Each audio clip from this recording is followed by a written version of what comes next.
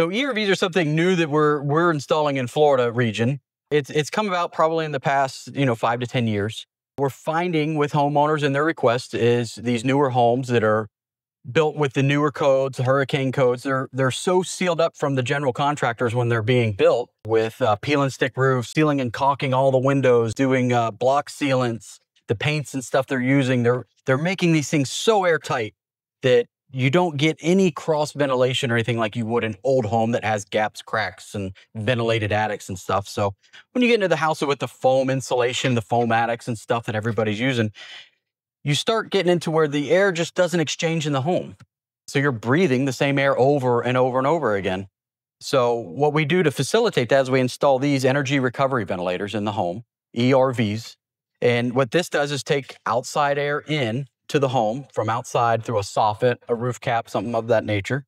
And then we t- exhaust air out of the home and we cross those in this machine. So we're kind of subcooling that outside air to make it a little bit cooler before we induce it into the home.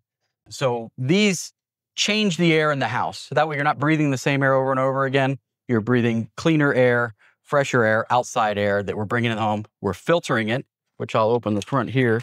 So it is a serviceable item. So it's it's got filters in it. So we're bringing the air in. It crosses through this membrane and goes exhaust out of the to uh, the AC unit. Then we're exhausting it back through out of the house, taking the old air, the dirty air out, and then we send it outside to a louver or wall cap outside. So we're just exchanging the air as many times as we want. We can set it, program it, and that way the indoor air quality improves because you're not breathing the same air over and over again.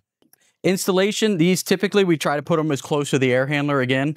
Keep the ductwork to a minimum because it works in conjunction with your AC system that you currently have. And you can hook these up to any AC. You don't have to have a specific one. So they usually install very close to that. We can mount them on the wall, put them in the attic, in a closet, something like that. One year on the labor on the install, and then five years on parts uh, within it, as far as the the membrane and the blower and uh, both sides of it. So five years on parts. Best thing to do is give our office a call, and uh, you know you're interested in ERVs, energy recovery ventilators. And then uh, we'll send out one of our representatives who's most familiar with these type of systems to size it for your home to see the existing application and how we can get it installed for you.